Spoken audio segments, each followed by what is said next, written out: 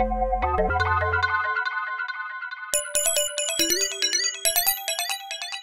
everyone, this is Dave from Geekanoids and welcome to my unboxing and first look of the Sony Xperia T mobile phone.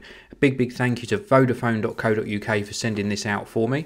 Just a very quick look on the back, we can see here we've got the Bravia engine inside here. It's capable of capturing 1080p video and it's also got a 13 megapixel camera.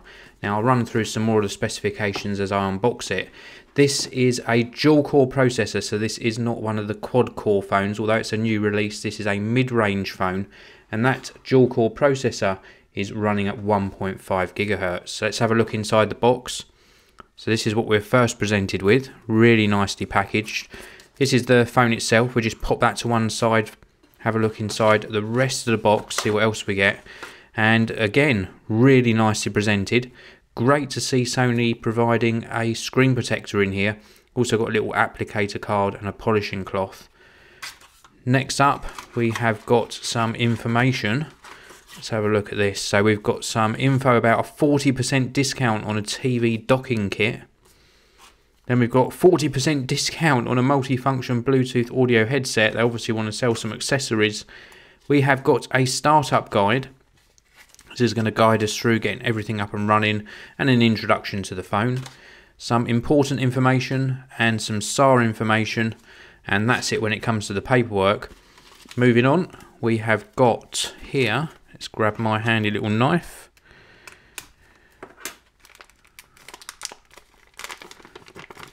This is the headset. This looks really nice compared to other headsets I've seen. We've got a little extra pack here with a little clip and some different size silicon earbuds. Then we've got the headset itself. This looks really nicely constructed, a little bit different to some of the standard ones we see in some mobile phones. And we've got a built-in sort of control, remote control here with some buttons on it for making and taking calls and doing sort of volume up and down. And then we've got a little pinhole mic on the back, the earpieces themselves, and then a right angle 3.5mm audio jack. Moving on, we've got the cable and this is going to be a full-size USB cable on one end and then on this end we have got a micro USB connection.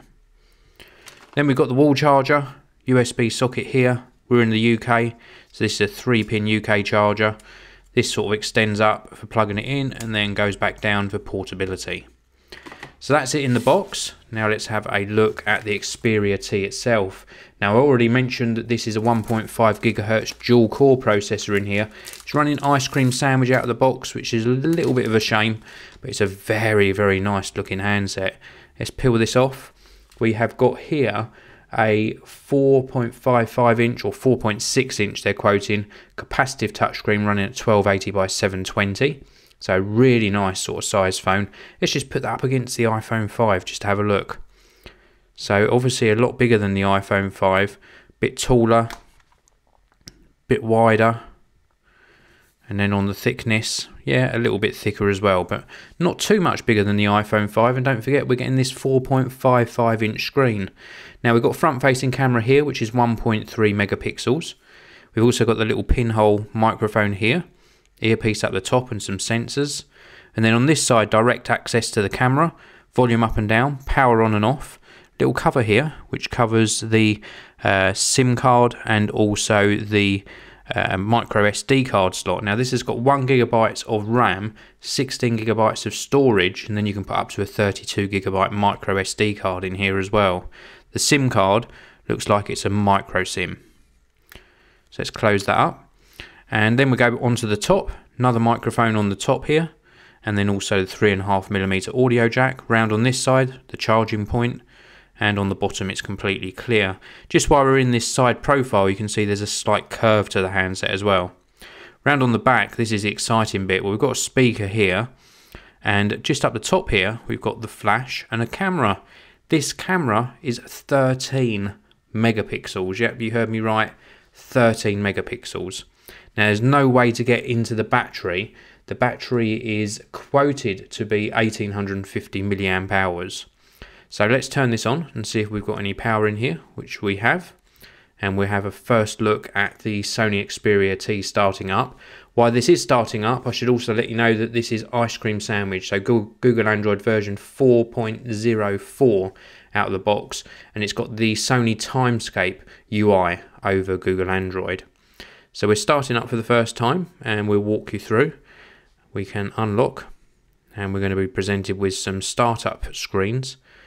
Uh, let's cancel that one, and we're going to select United Kingdom. No SIM card. We don't care at this stage, we just want to have a look at it. Wow, that looks nice. I really do like these displays on the Sony phones. And this is offering up a 323 ppi pixel density, 1280 by 720 resolution, and we can swipe between the screens. Yeah, it's a little bit stuttery, not too bad, but it seems fairly responsive. Let's have a look at the pre-installed apps. We've got some decent apps pre-installed and don't forget this came from vodafone.co.uk so we've got some Vodafone apps on here as well. Looks really nice actually. So let's have a look inside the gallery just to see if we've got any uh, sort of pre-installed or pre uh, pre-stored photos to show you. So we have got some photos we can have a quick look at. Let's go into this folder here and switch round into this orientation. It's a nice looking screen.